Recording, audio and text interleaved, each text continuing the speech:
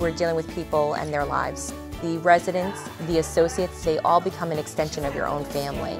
I'm Deanna DeStacio, Executive Director with Brightview Senior Living.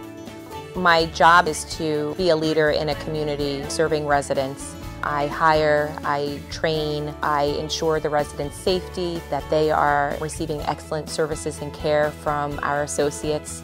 Working in the office will be part of it as well, managing the financials, doing budgeting, and working with the department heads. We're able to provide programs that the residents can take part in throughout the day, whether it's being in the theater, watching a movie, going to a dinner, lunch, whatever it might be. We really want to promote health and independence in the community. All of us executive directors come from different backgrounds.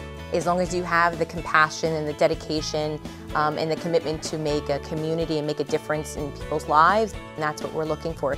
We have a program that if you are interested in growing within the company, it's called the Talent Development Plan. It allows folks to be coached and supported in order to achieve the level of a role that they want to. Being able to really create a community that has wonderful associates and residents and that we're delivering excellent care to all of them is what you know motivates me and makes me proud to be in the role that I'm in.